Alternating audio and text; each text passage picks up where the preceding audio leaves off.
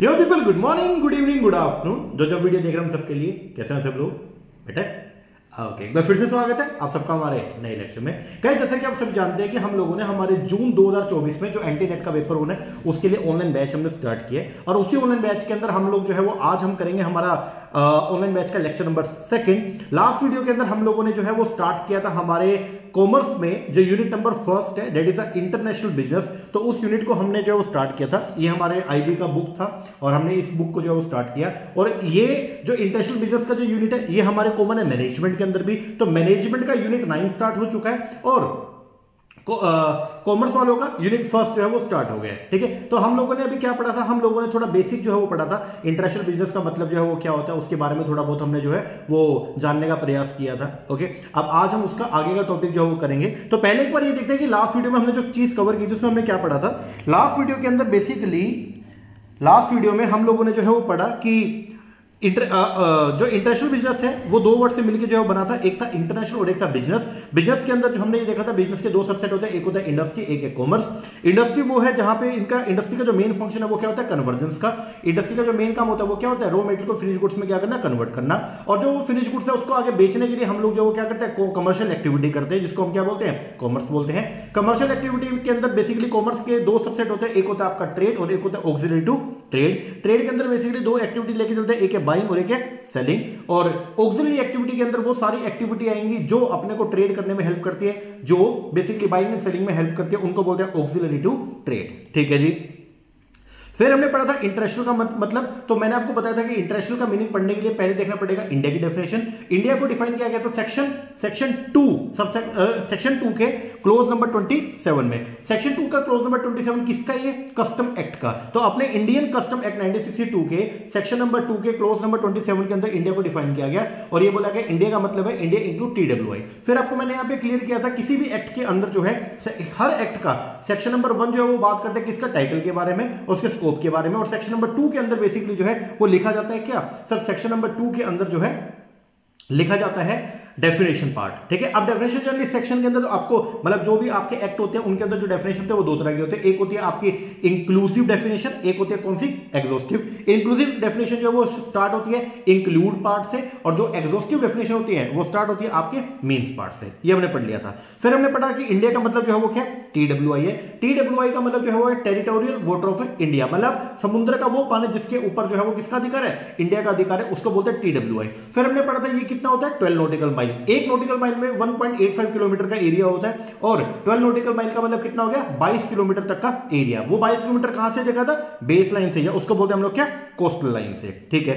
लेकिन इंडिया के अंदर जो है एक एक्ट हमने पास किया जिसका नाम है मैरीटाइम जोन एक्ट 1976 और ये एक्ट जो है वो पावर देता है किसको? सेंट्रल गवर्नमेंट को कि सेंट्रल गवर्नमेंट अगर चाहे तो वो अपने लो को ईईजेड e बोले तो एक्सक्लूसिव इकोनॉमिक जोन ऐसे जोन जो एक्सक्लूसिवली जिसके ऊपर राइट सिर्फ़ किसका है? जिसपे वो ऐसे जोन ऐसा एरिया जहाँ पे इकोनॉमिक एक्टिविटी करने का एक्सक्लूसिव राइट हमारा है, उस उस एरिया को बोलते हैं ईईजेड e तो जो आपका मैरीटाइम जोन एक्ट है, वो हमारे सेंट्रल गवर्नमेंट को पावर देता है और ये बोलता है कि सेंट्रल गवर्नमेंट अगर चाहे तो वो अपने एक्ट इस एरिया के अंदर भी जो है वो क्या कर सकती है?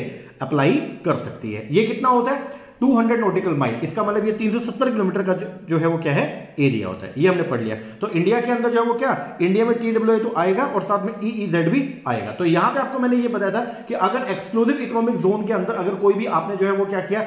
ऑयल एक्सट्रैक्ट किया क्रूड ऑयल निकालने का नेचुरल गैस निकालने का काम किया और उसको अगर लेके आप यहाँ पर लेके आ रहे हो तो इसको इंपोर्ट नहीं माना जाएगा। ठीक है जी। इसके बाद फिर हमने पढ़ा था इंटरनेशनल बिज़नेस क्या होता है तो आपको मैंने बताया इंटरनेशनल बिज़नेस कोई भी बिज़नेस एक्टिविटी, अगर मान लो कोई भी कंपनी, कोई भी कंट्री, कोई भी कंट्री या कोई भी कंपनी अगर बिज़नेस एक्टिविटीज़ को परफॉर्म करके अक्रॉस द बॉर्डर जाकर के तो उसको बोलते हैं हम लोग क्या? International business. फिर आपको मैंने बताया था जनरली इंटरनेशनल बिज़नेस में हम ना दो छोटे छोटे टर्म्स को लेकर चलते हैं। एक होता है इंपोर्ट और एक होता है क्या?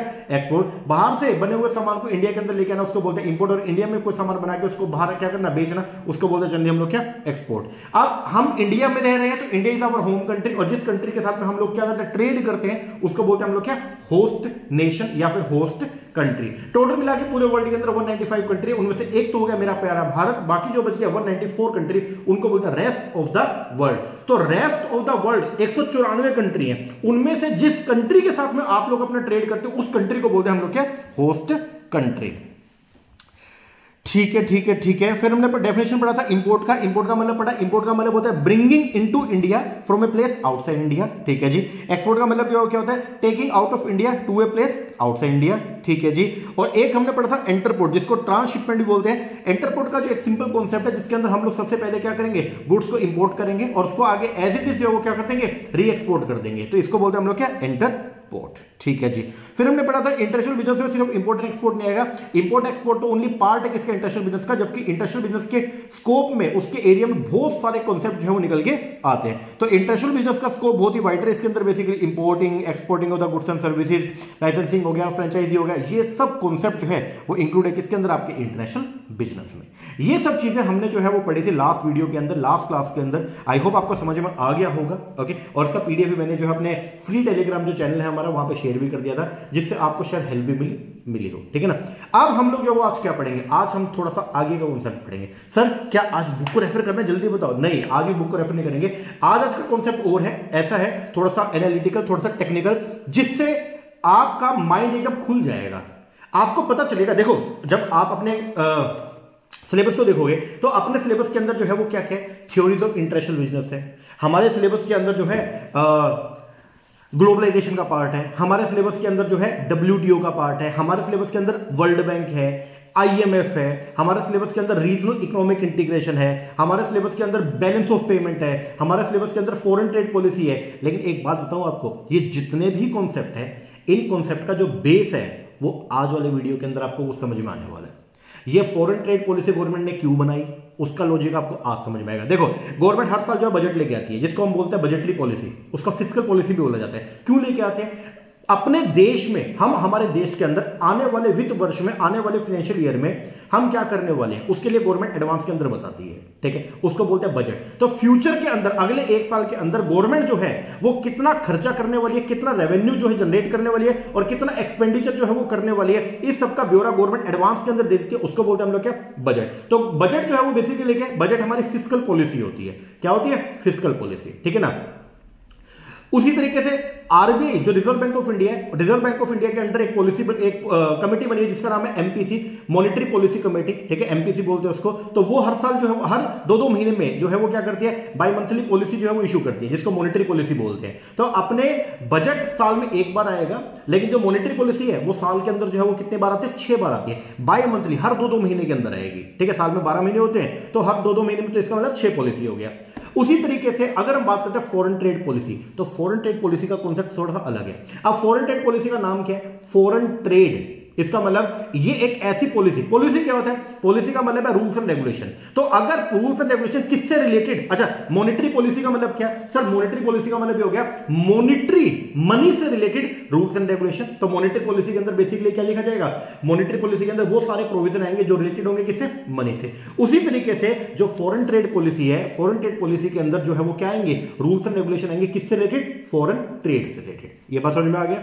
यस सर अब फॉरेन ट्रेड पॉलिसी क्यों बनाई जाती है? एक बार समझिएगा, हम फॉरेन ट्रेड पॉलिसी क्यों बनाते हैं? उसके पीछे के लॉजिक वो आज आपको थोड़े से जो है क्लियर हो गए गवर्नमेंट क्यों बारी बारी जो है इंपोर्ट आपने अक्सर सुना होगा गवर्नमेंट बाहर से गुड्स को लाने में जो है वो हमेशा आना का नहीं करती है। गवर्नमेंट इंपोर्ट को रोकने का काम करती है। और गवर्नमेंट एक्सपोर्ट को बढ़ावा देने का काम करती है। मोदी जी ने कितनी सारी स्कीम्स जो है, वो चलाई हुई है, जिसके थ्रू मोदी जी जो है, वो अपने देश के युवाओं को प्रेरित कर रहे हैं कि भाई, तुम सामान बनाओ मेक इन इंडिया करो, और उसके बाद उस सामान को बाहर एक्सपोर्ट करो तो हम तुम्हें बहुत सारी जो है, वो क्या करेंगे? फाइनेंशियल इंसेंटिव भी प्रोवाइड करेंगे, तुमको फाइनेंशियल हेल्प भी करेंगे।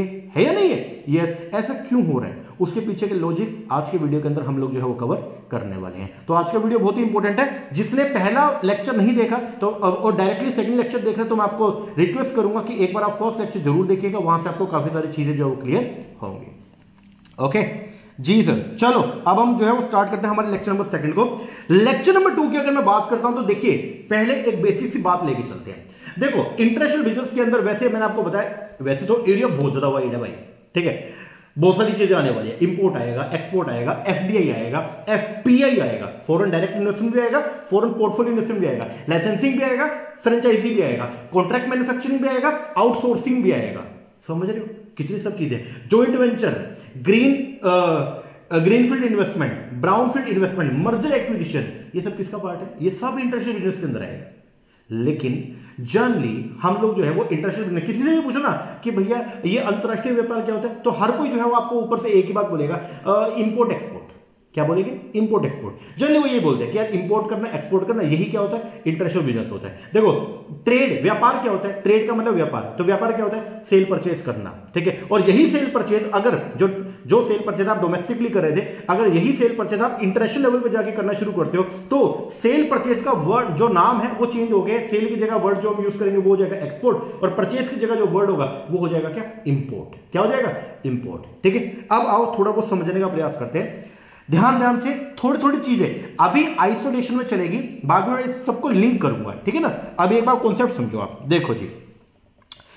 इंटरनेशनल बिज़नेस के अंदर बेसिकली हम लोग जो है वो लेके चलते हैं इंपोर्ट को एंड एक्सपोर्ट को। जनरली हम लोग किसको लेके चल रहे हैं? एक हम इंपोर्ट लेके चल रहे हैं, एक हम एक्सपोर्ट लेके चल रहे हैं। तो जब कभी भी आप जो है वो डोमेस्टिक ट्रेड से, ध्यान देना, अगर आप कोई भी डोमेस्टिक ट्रेड करते हो बेसिकली अगर आप कोई भी सेल या परचेज करते हो विद इन कंट्री कहाँ? विद इन कंट्री अगर आप विद इन कंट्री जो है वो क्या करते हो? सेल परचेज करने का काम करते हो, ठीक है? इसको बोलते हैं डोमेस्टिक ट्रेड क्या बोलेंगे? डोमेस्टिक ट्रेड तो इसके ऊपर अगर आप सेल परचेस करोगे तो इसके ऊपर आपको टैक्स पे करना पड़ता है, जिसको बोलते हैं GST goods and services tax okay ये आपने पढ़ा भी होगा। तो अगर हम जो है वो क्या करते हैं? डोमेस्टिक ट्रेड करते हैं डोमेस्टिक बिज़नेस कर रहे हैं तो डोमेस्टिक बिज़नेस किसके दायरे में आता है? जीएसटी के दायरे में आता है। लेकिन जब आप जो है वो इंटरनेशनल ट्रेड करना शुरू करोगे जब आप इंटरनेशनल ट्रेड करोगे, बोले तो सेल, इंटरनेशनल ट्रेड के अंदर सेल को जो किस नाम से पुकारेंगे?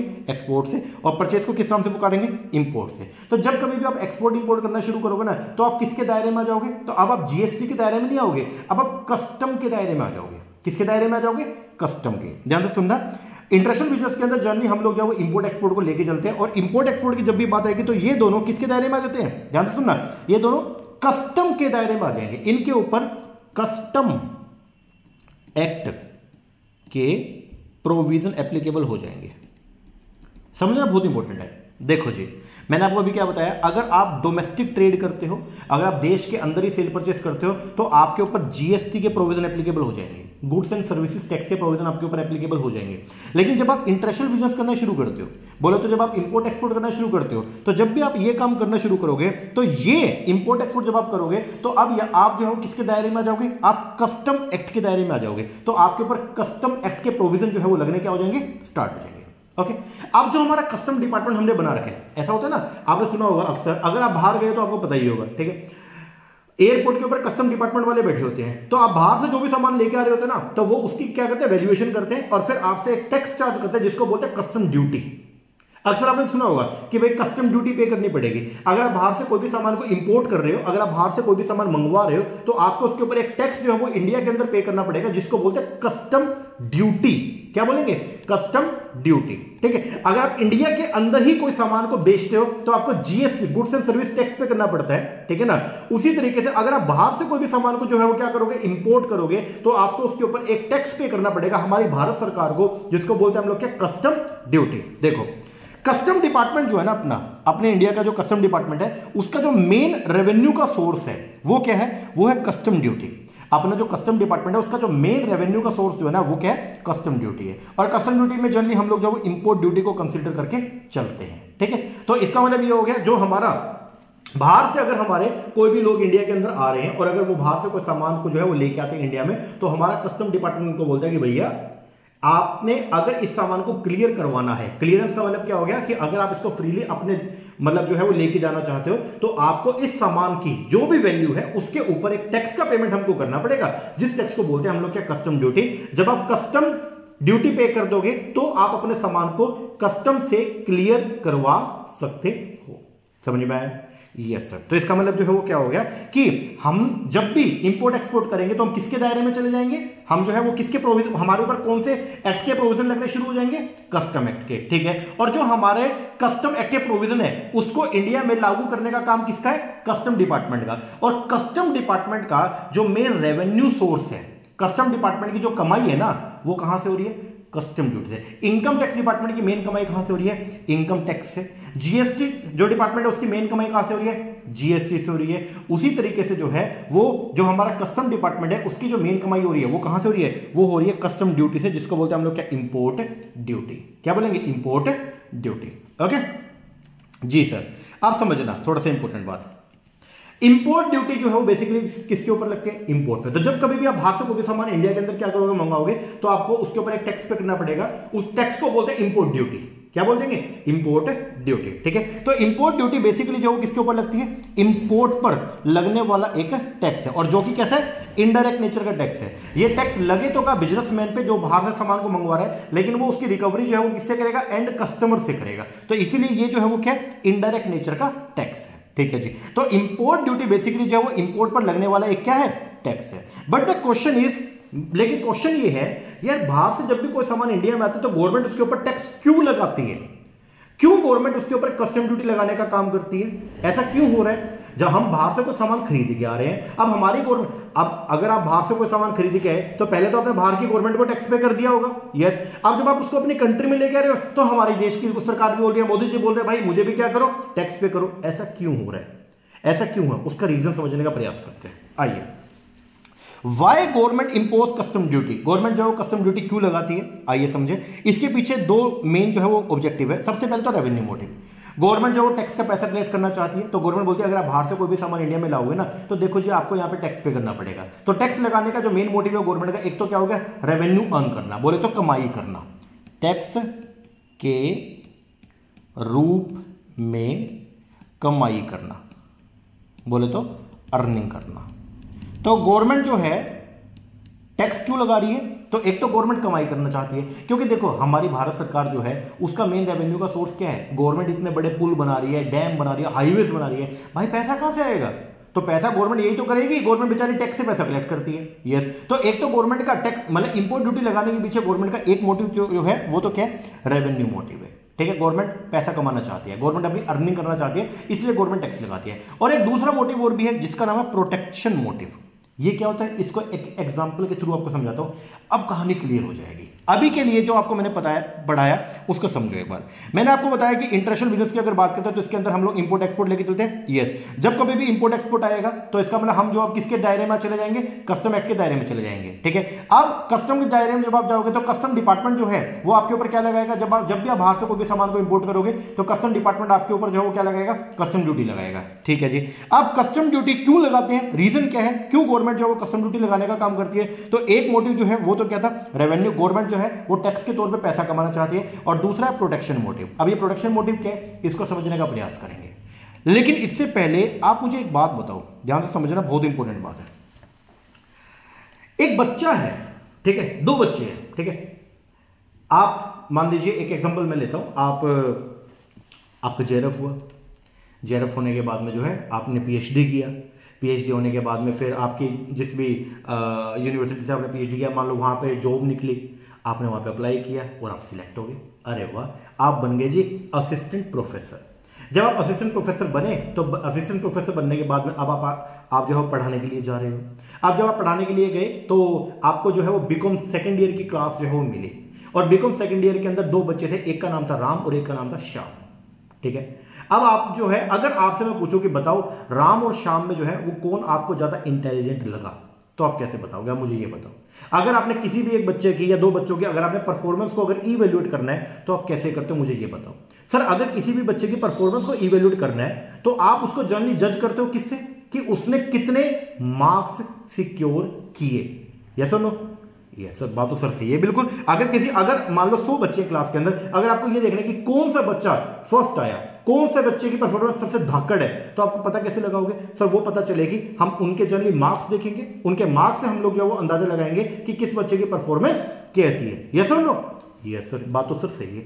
अगर बच्चे की किसी भी बच्चे की अगर परफॉर्मेंस को अगर आपने इवेल्युएट करना है तो उसका अंदाज़ा हम लगाते हैं किससे? कि बच्चे ने कितने मार्क्स क्या किए सिक्योर किए, वहाँ से अपने को पता चलता है। ठीक है ना? जी सर अब अगर किसी भी देश की इकोनॉमिक परफॉर्मेंस अगर आपने जाननी है, कि एक देश की आर्थिक स्थिति कैसी चल रही है? तो वो पता कैसे चलता है? समझना मैंने क्या लिखा? किसी स्टूडेंट की परफॉर्मेंस को इवेल्युएट करने का जो बेस होता है, जिस बेस पे आप एक बच्चे की परफॉर्मेंस को इवेल्युएट करते हो, वो क्या है? वो जनरली क्या मार्क्स होते हैं। वो क्या होते हैं? मार्क्स उसी तरीके से इन अ सेम वे एक कंट्री की, अगर किसी देश की इंटरनेशनल इकोनॉमिक परफॉर्मेंस को, अगर आपने जो है वो क्या करना है? मेजर करना है। अगर एक देश की इंटरनेशनल इकोनॉमिक परफॉर्मेंस को अगर आपने जो है वो क्या करना है? मेजर करना है तो उसको मेजर करने का जो बेस है, वो क्या है? वो उस कंट्री के पास अवेलेबल फॉरेन करेंसी रिज़र्व है। वो उस कंट्री के पास अवेलेबल फॉरेन करेंसी रिज़र्व है। समझ रहे हो? तो अगर किसी भी देश की इंटरनेशनल इकोनॉमिक परफॉर्मेंस अगर आपने देखनी है ना तो आप उसका अंदाज़ा कैसे? अच्छा एक बात बताओ, ये भी छोड़ो। अब आपको ये भी क्या पता समझ में ना आए। एक बात बताओ, दो दोस्त हैं, ठीक है? अगर आपको ये देखना है कि दो अलग अलग आपके दो दोस्त हैं, कि कौन ज़्यादा अमीर है तो पता कैसे चलेगा? कौन जो आपका, आपके दो फ्रेंड है, मान लो ए और बी अब कौन सा दोस्त ज़्यादा अमीर है, उसका पता आप कैसे लगाओगे? मॉनिटरी की बात कर रहा हूँ मैं, पता कैसे लगाओगे? सर, सबसे पहले ये देखेंगे कि उसका घर कितना बड़ा है। जितना बड़ा घर है तो उसका मतलब वो ज़्यादा अमीर होगा। यस सर ये देखेंगे उसके पास बैंक बैलेंस कितना है। सर ये देखेंगे कि गाड़ी कौन सी उसके पास में। एक बंदा है जिसके पास जो है वो बैंक बैलेंस है दस करोड़ का। एक बंदा जिसके पास में बैंक बैलेंस है वो दस हज़ार का। कौन ज़्यादा अमीर है? पहले वाला। एक बंदा है जो मर्सिडीज रखता है, जो ओडी रखता है, जो बीएमडब्ल्यू रखता है और एक बंदा जो बेचारा उल्टो में घूम रहा है। कौन ज़्यादा अमीर लग रहा है? देखने में कौन ज़्यादा अमीर लग रहा है? सर पहले वाला बंदा। एक बंदा है जो एक हज़ार गज के खुद के घर के अंदर रहता है और एक बंदा है वो किराए के मकान में रह रहा है। कौन ज़्यादा अमीर लग रहा है? जो पहले वाला बंदा। तो इसका मतलब क्या हो गया कि अगर आपने दो लोगों को अगर जज करना है कि कौन ज़्यादा अमीर है तो पता कैसे लगेगा? उसका घर देख के आप पता लगा सकते हो, उसकी गाड़ी देख के पता लगा सकते हो, उसका बैंक बैलेंस देख के पता लगा सकते हो, उसकी जो इकोनॉमिक कंडीशन उसको देख के आप पता लगा सकते हो। Yes sir no yes sir उसी तरीके से अगर किसी देश की इकोनॉमिक कंडीशन अगर आपने जाननी है तो उसका पता लगाया जाता है कि उस देश के पास में फॉरेन करेंसी के कितने रिज़र्व अवेलेबल है। आपके पास में कितने रिज़र्व पड़े हैं डॉलर फॉरेन करेंसी के? फॉरेन करेंसी के अंदर basically other than Indian currency जैसे मैं इंडिया के पार्ट में बात करता हूँ तो इंडिया इंडिया के लिए फॉरेन करेंसी क्या है? Indian currency Indian rupees I N R Indian rupees के अलावा जो भी करेंसी होती है चाहे वो यूएस के डॉलर है चाहे वो जापान का येन है चाहे वो यूरोप के आ, आ, आपका यूरो है ठीक है? तो ये सब करेंसी जो होती है ना ये हमारे लिए क्या है? फॉरेन करेंसी ठीक है? तो अगर किसी भी देश की इंटरनेशनल इकोनॉमिक कंडीशन अगर आपने मेजर करनी होती है तो वो पता चलता है उस देश के पास कितने कितने फॉरेन करेंसी के रिज़र्व पड़े हैं। ओके जी। अब देखो मैंने क्या लिखा। जैसे एक बच्चे की परफॉर्मेंस को अगर मेजर करना है तो आप कैसे पता करा कैसे पता करोगे? उसके मार्क्स से। उसी तरीके से एक कंट्री की इंटरनेशनल इकोनॉमिक परफॉर्मेंस को मेजर करने का जो बेस है, वो क्या है? वो उस कंट्री के पास अवेलेबल फॉरेन करेंसी रिज़र्व उस कंट्री के पास में कितने फॉरेन करेंसी के रिज़र्व अवेलेबल है, वहाँ से आप लोग जो है वो अंदाज़ा लगाते हो। Okay okay? जी। अब क्वेश्चन है फॉरेन करेंसी क्या होती है? तो other than home currency India के पार्ट में बात करता हूँ तो इंडिया की जो होम करेंसी है वो क्या है? आई एन आर बोले तो rupee Indian rupee yes sir तो इंडियन रूपी के अलावा जो भी करेंसी है लाइक डॉलर हो गया लाइक पाउंड हो गया लाइक येन हो गया लाइक यूरो हो गया तो ये सब करेंसी जो है, ये क्या होती है? फॉरेन करेंसी अब कौन सा देश ज़्यादा रिच है? अगर आपने ये देख रहे ना तो आप ये चेक करो, उसके पास में फॉरेन करेंसी के कितने रिज़र्व अवेलेबल है। जिस कंट्री के पास में फॉरेन करेंसी के ज़्यादा रिज़र्व अवेलेबल है तो इसका मतलब वो कंट्री जो है, उसकी इकोनॉमिक कंडीशन बहुत ही बेटर है। ये बात ध्यान रखना, ठीक है? तो इंटरनेशनल लेवल पे अगर इकोनॉमिक कंडीशन देखनी होती है ना तो पता कैसे चलेगा? अब देखो, अगर आपने किसी देश की कंडीशन चेक करनी है तो आप देखते हो कि उसका जो है, वो इकोनॉमी साइज़ कितना है। वो कितनी मल्टी ट्रिलियन इकोनॉमी है मिलियन इकोनॉमी है, आप वहाँ से पता चलो। पता जो है वो लगाओगे। लेकिन अगर आपने किसी देश की इंटरनेशनल इकोनॉमिक कंडीशन को अगर आपने चेक करना होता है तो आप वहाँ पे जो है, वो उस इकोनॉमी को तो चेक करते हो। भाई ये इकोनॉमी कितने करोड़ की है, कितने अरब की है? और साथ में आप ये देखते हो कि उस इकोनॉमी के पास में, उस देश के पास में फॉरेन करेंसी के कितने रिज़र्व जो है वो क्या अवेलेबल है। इसीलिए हर गवर्नमेंट जो है वो कोशिश करती है कि उसके पास रिज़र्व बढ़े। यार एक बात बताओ, हर कोई अमीर बनना चाहता है या नहीं चाहता? चाहता है सर। अच्छा ये बताओ, आप एग्ज़ाम के अंदर ज़्यादा मार्क्स लेना चाहते हो या कम मार्क्स लेना चाहते हो? सर, ज़्यादा मार्क्स लेना चाहते हैं। और ज़्यादा मार्क्स लेने के लिए आप ज़्यादा मेहनत भी करोगे। यस नो यस सर आप चाहते हो ना, आप चाहते हो ना कि आप अपने ड्रीम को पूरा करो। आप चाहते हो कि आप बहुत सारा पैसा कमाओ, अपने माँ बाप के ड्रीम को पूरा करो। चाहते हो या नहीं चाहते सर, चाहते हैं। तो उसके लिए आपको काम भी करना पड़ेगा। यस हर कोई ये चाहता है। समझ रहे हो ना? तो अब इसका मतलब क्या है कि अगर हर देश जो है वो वो भी ये चाहता है कि मेरी जो है वो इकोनॉमिक कंडीशन जो है वो क्या? सुधरे। और इकोनॉमिक कंडीशन कैसे सुधरेगी? अगर आपके पास में फॉरेन करेंसी के रिज़र्व जो है वो क्या होंगे? ज़्यादा होंगे। यहाँ तक ओके जी, एक बार पढ़ो। एक कंट्री की इंटरनेशनल इकोनॉमिक परफॉर्मेंस को मेजर करने का जो बेस है, वो क्या है? उस कंट्री के पास अवेलेबल फॉरेन करेंसी रिज़र्व अब फॉरेन करेंसी रिज़र्व जो है, वो क्या होती है? फॉरेन करेंसी क्या होती है? फॉरेन करेंसी रिज़र्व रिज़र्व का मतलब जो आपके पास में फंड अवेलेबल है। और वो फंड कौन से? फॉरेन करेंसी में. क्वेश्चन है फॉरेन करेंसी क्या होती है? तो इंडियन करेंसी के अलावा जो भी करेंसी होती है, उसको बोलते हैं हम लोग क्या? फॉरेन करेंसी ठीक है जी? अब एक बात और बता दू। हम विदेश के साथ, विदेशों के साथ में मतलब हम जो है, वो विदेश, किसी भी विदेशी जो कंट्री है, उसके साथ में जो भी हम व्यापार करते हैं, ध्यान से सुनना। हम लोग इंडिया जब रेस्ट ऑफ़ द वर्ल्ड के साथ में रेस्ट ऑफ़ द वर्ल्ड में सारी कंट्री आ गई है तो इंडिया जब रेस्ट ऑफ़ द वर्ल्ड के साथ में कोई भी व्यापार करता है तो उसका ब्यौरा हमारी गवर्नमेंट लिखती है। समझना एक बार एक बार बताओ, अगर आप कोई भी जो है वो क्या करते हो? जॉब कर आप कोई भी बिज़नेस करोगे तो क्या आप अपने बिज़नेस का सारा ट्रांजेक्शन जो भी आपने करिए क्या उसका हिसाब किताब लिखते हो? यस सर लिखते हैं। तो उसके लिए आप बैलेंस शीट बनाते हो? हाँ जी सर बनाते हैं। पी एंड एल अकाउंट बनाते हो? हाँ जी सर बनाते हैं। उसी तरीके से हमारी कंट्री भी, ध्यान से सुनना हमारी कंट्री भी, अपनी कंट्री ने विदेशों के साथ जो भी लेन देन किया पूरे साल के अंदर, उसका भी एक जो है वो रिकॉर्ड मेंटेन किया जाता है। उस रिकॉर्ड को बोलते हैं बैलेंस ऑफ़ पेमेंट क्या बोलते हैं? बैलेंस ऑफ़ पेमेंट तो बैलेंस ऑफ़ पेमेंट का मतलब जो है वो क्या होता है? बैलेंस ऑफ़ पेमेंट बेसिकली एक जो है वो एक अकाउंटिंग सिस्टम है, जिसके अंदर हम लोग जो है वो क्या करते हैं? जो भी फाइनेंशियल नेचर की ट्रांजेक्शन हुई है, हमारे देश का, बाकी देशों के साथ में जो भी फाइनेंशियल नेचर की ट्रांजेक्शन हुई है, उन सबकी रिकॉर्डिंग जो है वो की जाती है किसके अंदर? एक एंट्री एक बुक में, जिसको बोलते हैं हम लोग क्या बैलेंस ऑफ़ पेमेंट ओके और आपको मैं बता दूँ, जो बैलेंस ऑफ़ पेमेंट है, वो किसमें बनता है? यूएस डॉलर में बनता है.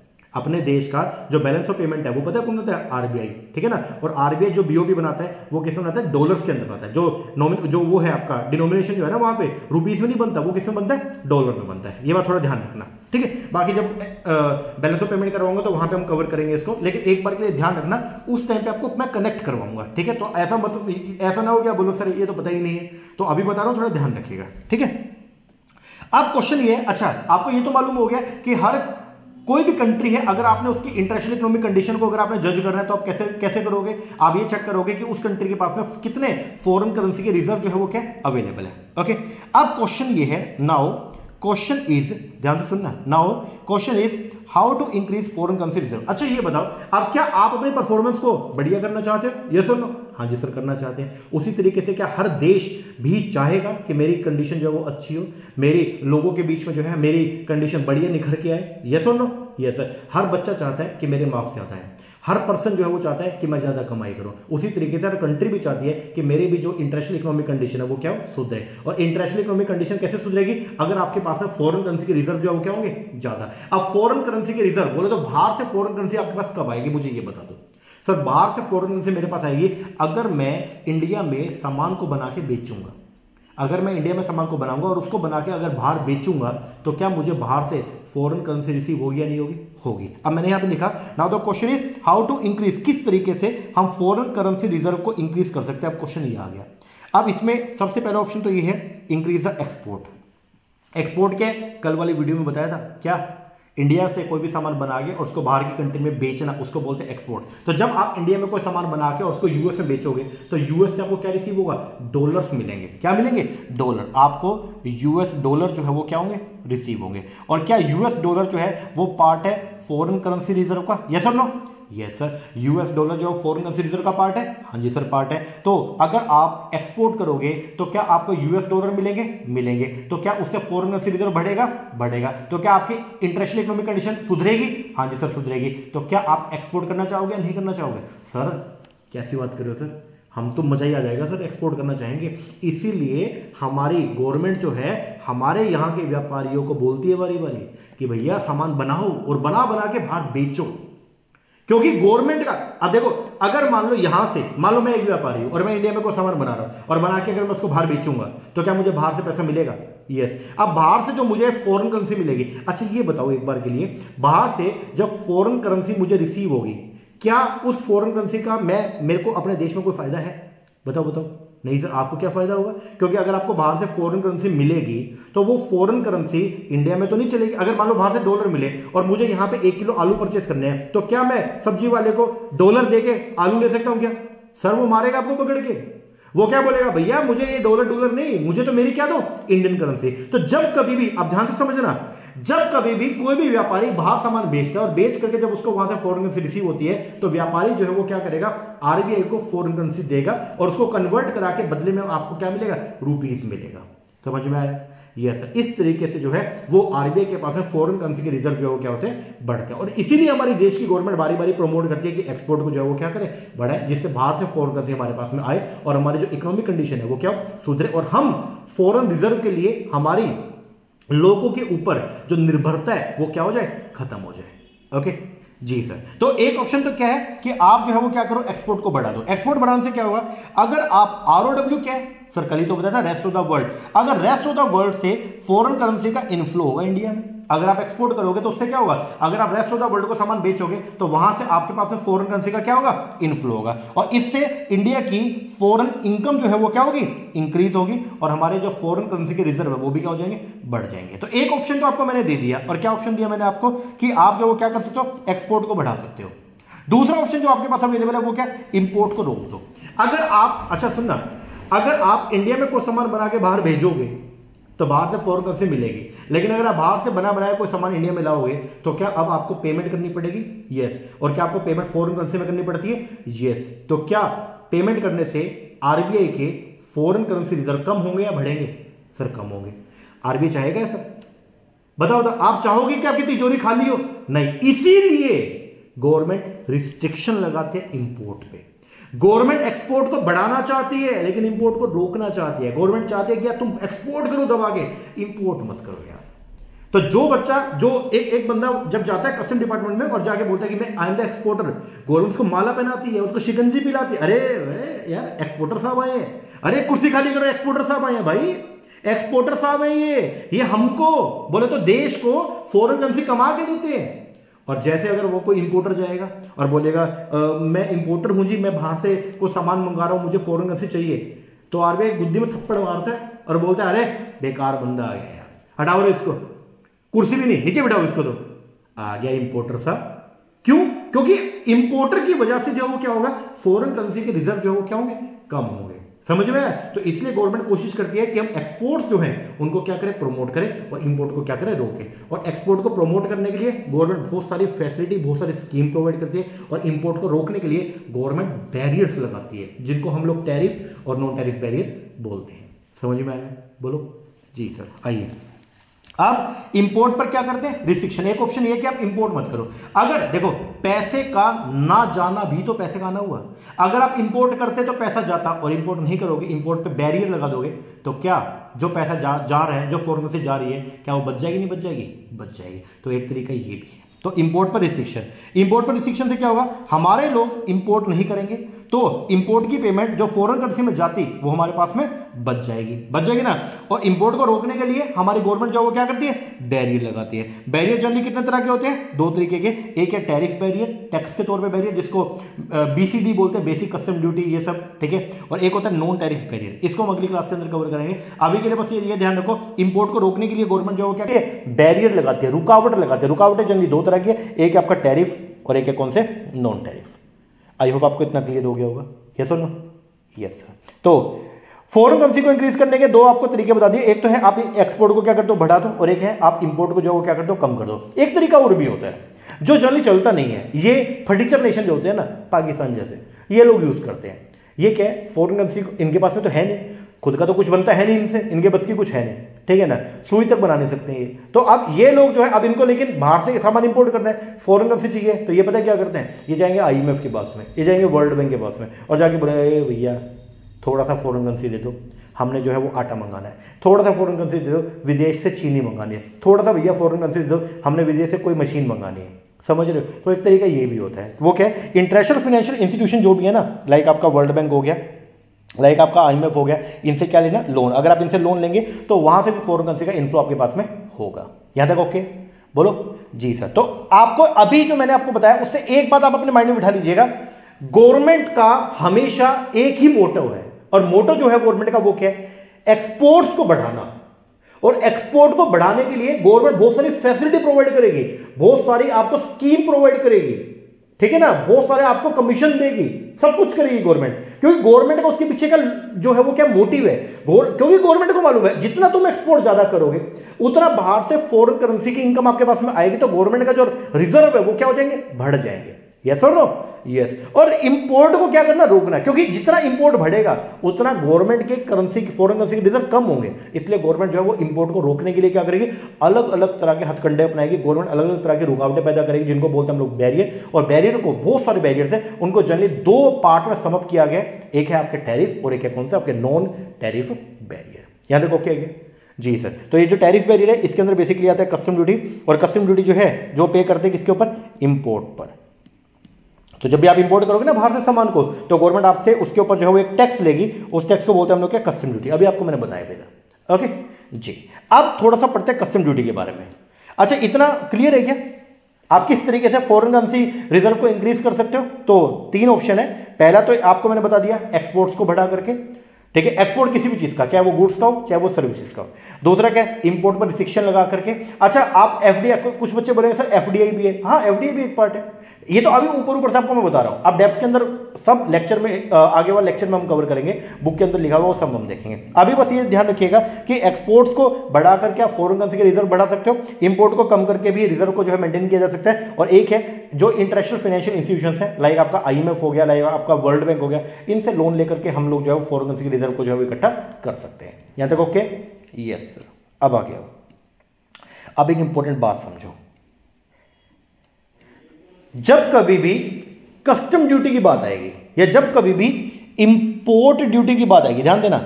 जब कभी भी इंपोर्ट ड्यूटी की बात आएगी तो इंपोर्ट ड्यूटी की जब हम बात करेंगे तो यहाँ पे हम तीन वैल्यूज़ के बारे में सुनते हैं। अच्छा एक बात बताओ सेल टैक्स किसके ऊपर लगेगा? सेल वैल्यू पे। मान लो कोई गुड सौ रुपए की हम बेच रहे हैं और टैक्स है दस परसेंट तो आपको आप कैसे कम, जो है उसको कंप्यूट कंप्यूट करोगे? तो सौ रुपए की आइटम है उसमें दस परसेंट टैक्स तो कितना हो गया? सौ इंटू में बोलो सौ इंटू में ध्यान देना एक बार। अगर मैं आपको बोलूँ सेल टैक्स निकालो। अब सेल टैक्स कैसे निकलेगा? Is equal to sale value into में टैक्स का रेट या सुनो अगर मैं बोलूँ इनकम टैक्स निकालो, आप कैसे निकालते हो? सर इनकम इनटू में टैक्स का रेट वो इनकम टैक्स निकल जाता है। Yes sir no yes sir उसी तरीके से अगर मैं बोलूँ सेल टैक्स निकालो तो आप कैसे निकालोगे? सेल वैल्यू इनटू में टैक्स का रेट जी। अगर मैं आपको बोलूँ जीएसटी निकालो तो आप कैसे करोगे? वैल्यू इनटू में जीएसटी का रेट कोई चीज़ सौ रुपये की है, उस पर अठारह परसेंट जीएसटी है। तो जीएसटी कितना हो गया? ये हो गया सौ इंटू में अठारह परसेंट बोलते हो अट्ठारह रुपये यस नो हाँ या ना? बोलो। हाँ सर, बिल्कुल सही बात है सर, ऐसे तो कंप्यूट होगा। यस उसी तरीके से अगर मैं आपको बोलूँ कि आप जो है, वो इंपोर्ट ड्यूटी बताओ कितनी लगेगी। तो इंपोर्ट ड्यूटी निकालने के लिए भी आपको दो चीज़ें चाहिए। एक तो चाहिए वैल्यू और एक चाहिए इंपोर्ट ड्यूटी का rate yes no yes sir तो इंपोर्ट ड्यूटी का रेट आपको कहाँ से मिलेगा? इसके लिए तो हमने एक अलग से कस्टम टैरिफ एक्ट हमने बना रखा है। वहाँ पे सारे रेट दे रखे हैं। उसके ऊपर चर्चा नहीं करेंगे अभी। बात आएगी वैल्यू की। तो जब कभी भी इंपोर्ट ड्यूटी लगाने की बात आती है तो तीन तरह की वैल्यू जो है हमारे सामने निकल के आती है। एक होती है एक्स वर्क वैल्यू एक होती है एफ़ ओ बी वैल्यू और एक होती है सी आई एफ़ वैल्यू ये तीनों वैल्यू आपने जो है, वो प्लस वन के अंदर पढ़ी होगी। नहीं पढ़ी है तो मैं रिवाइज करवाता हूँ। आओ एक बार के लिए ध्यान दो। देखो जी, ये है इंडिया मेरा प्यारा भारत। अब मान लीजिए, आप जो है वो बाहर से यूएसए से, ध्यान देना। यूएस से कोई भी सामान आप जो है वो इंपोर्ट करने की सोच रहे हो। मान लो, क्या मंगाओगे यार तुम। ये, एक एग्जांपल है, मान लो। ये एक आईफोन है और इसको जो है वो आप मंगाने की सोच रहे हो, ठीक है? यू, आपने सोचा कि यार यूएसए से जो है वो आईफोन मंगाना है, ठीक है? और ये यूएसए का जो आईफोन है, ये है, मान लो, एक एग्जांपल मान लो, पाँच सौ रुपए का। एक एग्जांपल लेके चल रहा हूँ। तो ये पाँच सौ रुपए का फ़ोन है जो आप जो है वो यूएस से मंगाना चाहते हो, ठीक है? अब ये पाँच का फ़ोन जो यूएस में है मतलब आपने यूएस का एक पर्सन था, ठीक है? एप्पल वाला पर्सन यूएस में है एप्पल वाला। ठीक है? आपने एप्पल वाले को फ़ोन किया। हेलो, एप्पल वाला? एप्पल वाला बोला हाँ जी। आप बोले, एप्पल वाला मुझे जो है, वो एक आईफोन चाहिए। कितने का है? एप्पल वाला बोला, साहब आईफोन है पाँच सौ रुपए का। कितने का? पाँच सौ का। आप बोले, ठीक है। ये जो पाँच सौ रुपए का एप्पल वाला देने के लिए तैयार है तो क्या इसके अंदर, ध्यान देना, क्या इसके अंदर एप्पल वाले ने अपना प्रॉफिट मार्जिन मुर्जिन सब कुछ ऐड कर रखा है? यस सर कर रखा है। इसको बोलते हैं एक्स वर्क वैल्यू क्या बोलेंगे? एक्स वर्क वैल्यू वो वैल्यू जिसके ऊपर आपको सामान यूएस के अंदर अवेलेबल हो जाएगा, उसको बोलेंगे एक्स वर्क वैल्यू पहला। अब आप बोले कि एप्पल वाला, मुझे सामान इंडिया में भेजो। तो एप्पल वाला आप क्या करेगा? इस सामान को लेके जाएगा कहाँ पे? क्या एप्पल वाला ये बोलेगा, सर, आप अपनी छत पे आ जाओ, मैं मेरी छत पे आ रहा हूँ, और सर, मैं फ़ोन फेंक के मारो, आप कैच कर लेना। ऐसा हो गया नहीं, सर। वो तो कहाँ बैठे? यूएस में बैठे हम कहाँ बैठे इंडिया के अंदर बैठे हैं। अब बताओ हम क्या करें? अब वो जहाज़ में सामान भेजेगा तो ही तो हम रिसीव करेंगे। यस अब जहाज़ में सामान क्या, जहाज़ मतलब क्या समुद्र में जाके ऐसे भा देगा? नहीं सर जाना पड़ेगा कस्टम पोर्ट पे जाना पड़ेगा, वहाँ पे जाके लोड करवाना पड़ेगा तो जाके तो सामान आएगा? यस अब ध्यान से सुनना। ये जो पाँच सौ रुपए का जो आईफोन था, अब ये एप्पल वाला जो है, इसको लेके गया अपने यूएस के पोर्ट पे। वहाँ पे जाके उसने क्लियरेंस करवाया, जो भी खर्चा खुर्चा लगा, और खर्चा खुर्चा लग के इसका खर्चा लग गया दो सौ रुपए। अब ये आईफोन जो है, वो यूएस में फ्री पड़ा है इंडिया जाने के लिए। मतलब यूएस तक के सारे खर्चे जो है वो पे हो चुके हैं। यूएस तक के खर्चे जो थे वो थे दो सौ रुपए। पाँच सौ रुपए थी इसकी एक्सवर्क वैल्यू दो सौ रुपए खर्चा जोड़ दिया। अब ये सात सौ रुपए जो वैल्यू निकल गई ना, इसको बोलते हैं F free on board value free on board value ये वो वैल्यू है जिसमें यूएसए से हमने कस्टम क्लियरेंस करवा ली है। तो अभी दो वैल्यू आपको बताइए। एक है एक्स वर्क वैल्यू अगर मैं सामान, ये आईफोन यूएस जा करके एप्पल वाले से लू तो मुझे कितने का पड़ रहा है? पाँच सौ रुपए का। कितने का पड़ रहा है? पाँच सौ रुपए का। मतलब पाँच सौ रुपए में वो बंदा मुझे जो है, वो क्या ये प्रोवाइड करवा देगा, ठीक है? अब क्वेश्चन ये आता है, अगर मैं उसको बोलूँगा, नहीं भैया, मैं तो नहीं आ सकता तो मुझे भेज दे। तो अब वो क्या करेगा? इसको लेके जाएगा पहले यूएस पोर्ट पे। यस पोर्ट पे ले जाके इसको वहाँ से जो है अथॉरिटी से क्लियर करवाएगा। यस क्लियरेंस का मान लो खर्चा खुर्चा लग गया दो सौ रुपए। अब ये जो फ़ोन है, ये जो, अब वो कितने का पड़ गया? सात सौ रुपए। ये सात सौ रुपए जो वैल्यू इसको बोलते हैं FOB value free on board value okay जी, अब ये आईफोन बहुत महँगा है। अब ये रस्ते में आएगा। जब ये इंडिया आएगा तो क्या क्या रस्ते का भाड़ा लगेगा, नहीं लगेगा? लगेगा। तो उसको बोलते फ्रेट चार्जेस कितने? मान लो सौ रुपए भाड़ा लग गया। और क्योंकि भाई ये महँगी चीज़ है तो हम इसका जो है, अब समुद्र में के ज़रिए जब ये आएगा, समुद्र में ऊँची ऊँची लहरें हैं और लहरों में अगर ये डूब गया तो तो हम इसका क्या करवा लेंगे? बीमा करवा लेंगे इंश्योरेंस करवा लेंगे। और मान लो इंश्योरेंस का खर्चा लगेगा कितना? सौ रुपए ठीक है? तो टोटल मेरा रस्ते का खर्चा कितना लग गया? दो सौ रुपए। सात सौ रुपए का मेरे को ये पड़ा था, दो सौ रुपए और जोड़ लिए। और यहाँ पे जब ये इंडियन पोर्ट पे आएगा तो इसकी वैल्यू अब कितनी हो चुकी है? सर इसके अंदर जो है एफ़ तो आया आया, और प्लस में इंश्योरेंस प्लस में फ्रेट ये भी आ गया। तो इसकी वैल्यू होगी कितनी? 700 प्लस में 200 सौ इज़ इक्वल टू नौ ये 900 जो है, इसको बोलते हैं C I F value C I F value का मतलब हो गया कोस्ट इंश्योरेंस फ्रेट नाम पे जाना, नाम क्या है? सी आई एफ़ बोले तो कोस्ट इंश्योरेंस फ्रेट ओके जी, तीन वैल्यू आपको मैंने बता दी। पहली कौन सी? Ex work value ex work value में जब आप सारे कस्टम क्लियरेंस चार्जेस को जोड़ देते हो तो वो बनेगी क्या?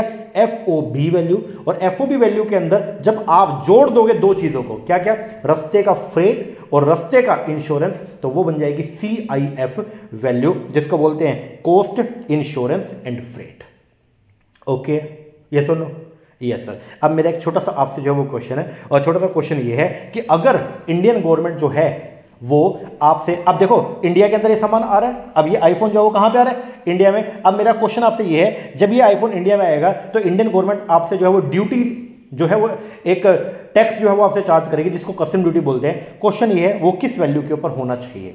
क्या वो टैक्स गवर्नमेंट आपसे पाँच सौ पर लेगी? या गवर्नमेंट वो टैक्स आपसे इस सात सौ पर लेगी? या गवर्नमेंट आपसे वो टैक्स नौ सौ पर लेगी? मेरा क्वेश्चन आपसे ये बस मुझे ये बता दो। बताओ भाई कमेंट करके ज़रूर बताना आपने क्या सोचा, ठीक है? आंसर तो अभी मैं बताऊँगा तो यू ना हो कि आप आंसर देके फिर कमेंट करो। नहीं, अभी अभी के अभी, बिना देखे बस मुझे ये बता दो कि 500 पे लगेगा 700 पे लगेगा 900 पे लगेगा, बस। जो भी आपके माइंड में आ रहा है, इस कॉन्सेप्ट को समझ के आप मुझे ये बताओ, बस। कमेंट करके एक बार, ठीक है? अच्छा अब ये बताओ एक बार इंपोर्ट कब हुआ? जब वो सामान यूएस से चला तो क्या इंपोर्ट हो गया?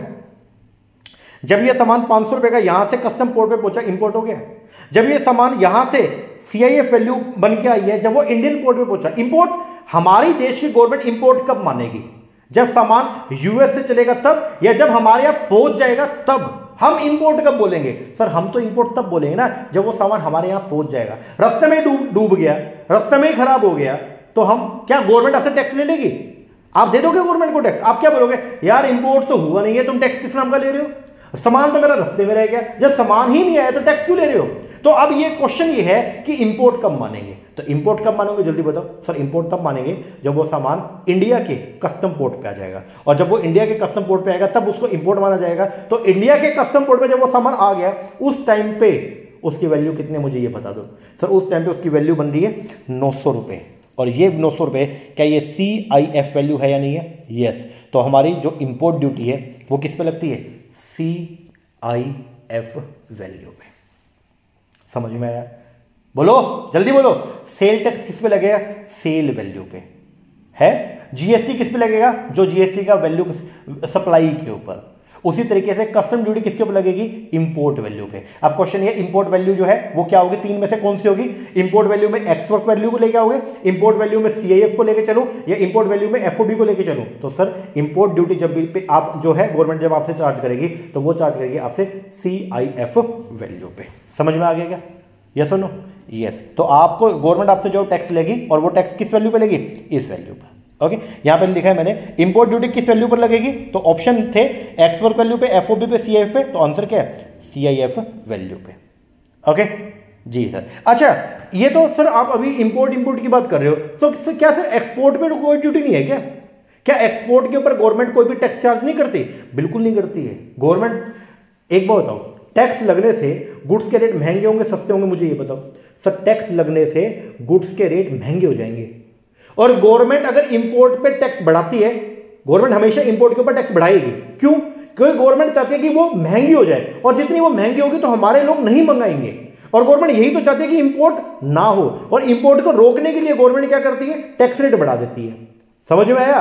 और एक्सपोर्ट को बढ़ाने के लिए अब क्वेश्चन ये है, क्या गवर्नमेंट एक्सपोर्ट के ऊपर टैक्स लगाएगी या टैक्स नहीं लगाएगी? आप बस मुझे ये बताओ।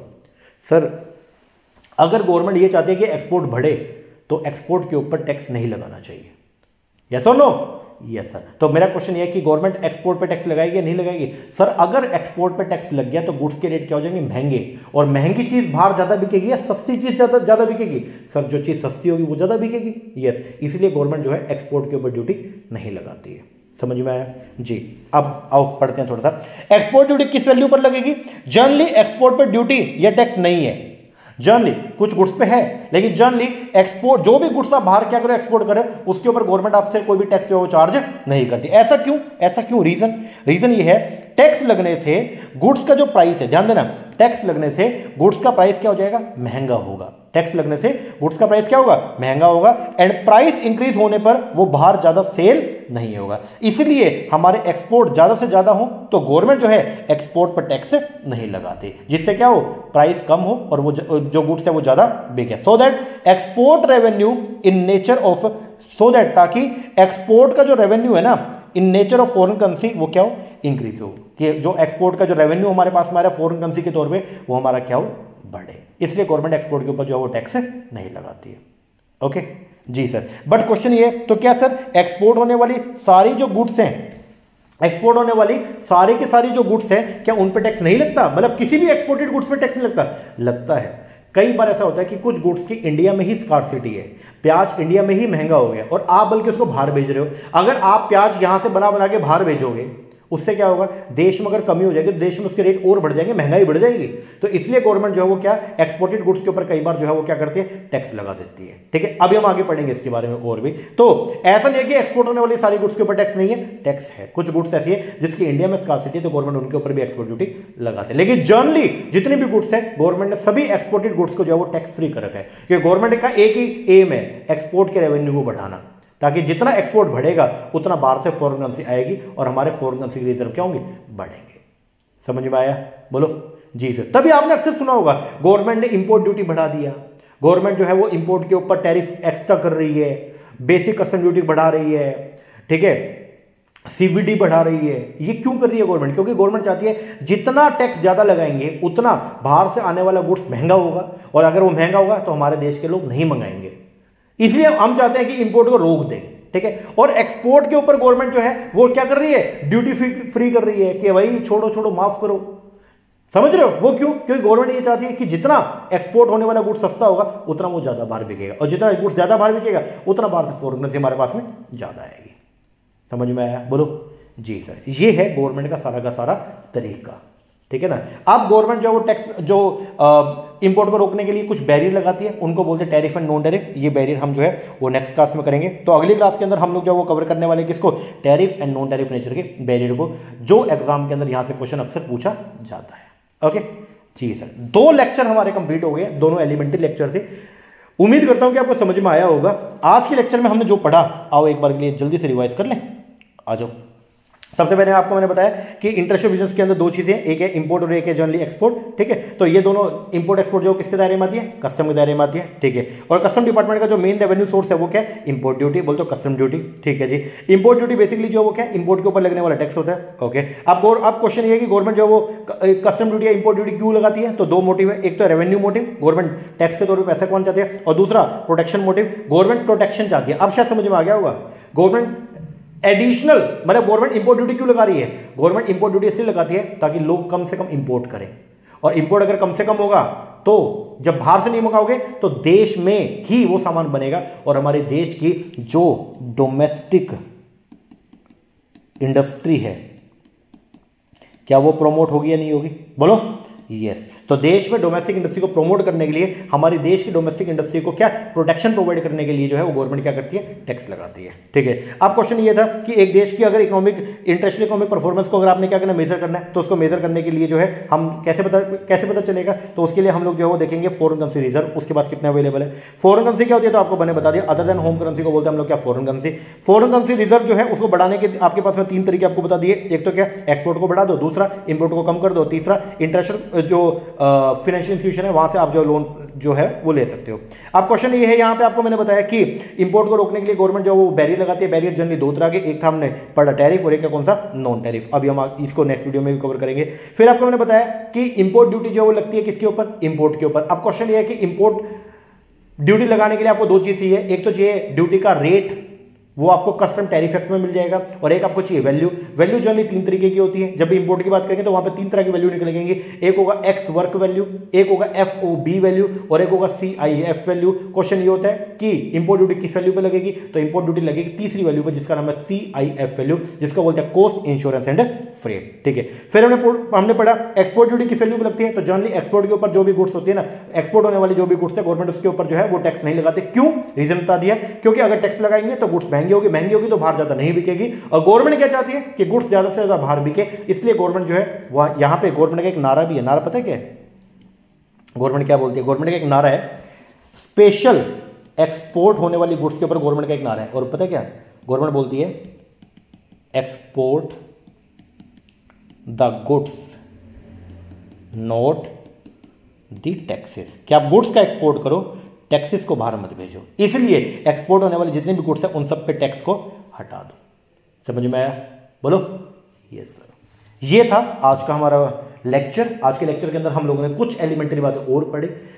अब शायद एक इमेज आपके माइंड में क्रिएट हो रही होगी। अब नेक्स्ट वीडियो के अंदर जब हम टैरिफ और नॉन टैरिफ बैरियर पढ़ेंगे तो आपको सब कुछ एकदम क्लियर हो जाएगा कि यार ऐसा क्यों हो रहा है। और जितने भी इंस्टीट्यूशन बने हुए हैं, अभी आपको मैं लिंक करते जाऊँगा, ठीक है ना? कि डब्ल्यू बनाया वर्ल्ड बैंक क्यों बनाया? आईएमएफ क्यों बनाया? अब ये लिंक उतरेंगे ना, फिर आपको चीज़, चीज़ें जो है एकदम क्रिस्टल क्लियर हो जाएँगी। पूरी की पूरी इकोनॉमी आपके माइंड के अंदर बैठ जाएगी। फिर आपको समझ में आएगा, अरे ये चीज़ें थी यार। कितना सिंपल है बताओ। और जब आप कल को आप पढ़ाने जाओगे बच्चों को तो जब आप इस लिंकेज के साथ जब बच्चों को पढ़ाओगे, यार बच्चा बोलेगा, भाई, इसके जैसा टीचर बनना है मेरे को, या इसके जैसा टीचर मैंने आज तक नहीं देखा। तो तुमको वही एक बेंच मार्क क्रिएट करना है कि जब तुम क्लास में चलेगे ना, बच्चा पिंट्रोप हो बस तुम्हारी बात सुने, बच्चा मंत्र मुक्त हो जाए। बच्चे को 104 डिग्री बुखार भी हो रहा है ना तो भी बच्चा बोले, भाई, मैं क्लास लगाने आऊँगा।